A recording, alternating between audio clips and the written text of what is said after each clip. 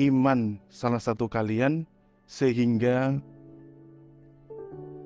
aku nabi menjadi orang yang paling dicintai daripada orang tua, anak, dan semua manusia.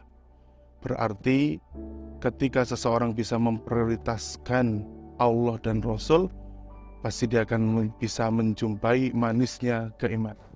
Di dalam Al-Quran disebutkan, Kul in kuntum tuhibbunallaha fattabi'uni yuhibbukumullah wa yaghfir lakum dzunubakum.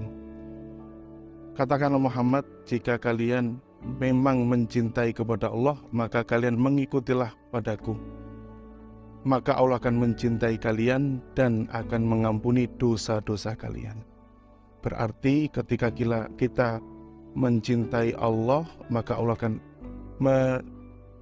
menghapus dosa-dosa kita, memberikan maghfirah atau ampunan kepada kita. Kemudian yang kedua, wa an yuhibbal mar'a la yuhibbuhu illa lillah.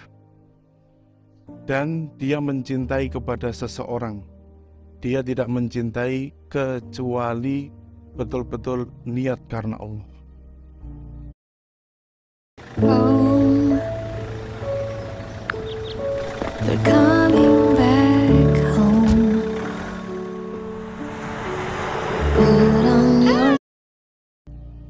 Seseorang mencintai kepada saudaranya tidak didasari dengan dunia, tidak didasari dengan harta, akan tetapi betul-betul niat karena Allah.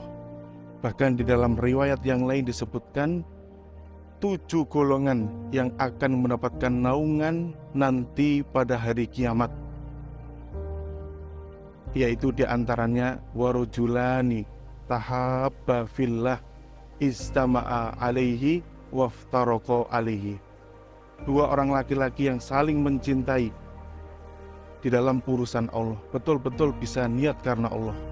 Mereka berdua berkumpul karena Allah dan berpisah karena Allah.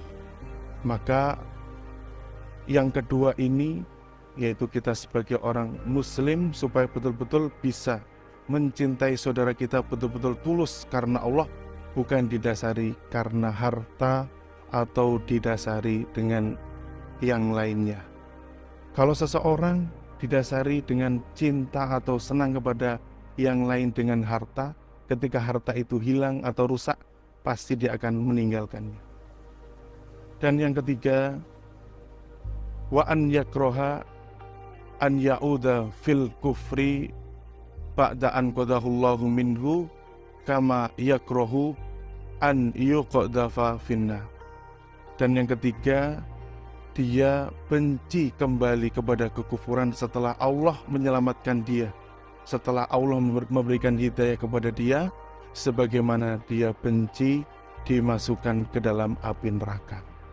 Yang ketiga ini adalah ketika kita menjadi seorang muslim, maka semua apa yang pernah dikerjakan yaitu berupa adat jahiliyah atau kejelekan-kejelekan supaya betul-betul kita tinggalkan jangan sampai kita mengulangi.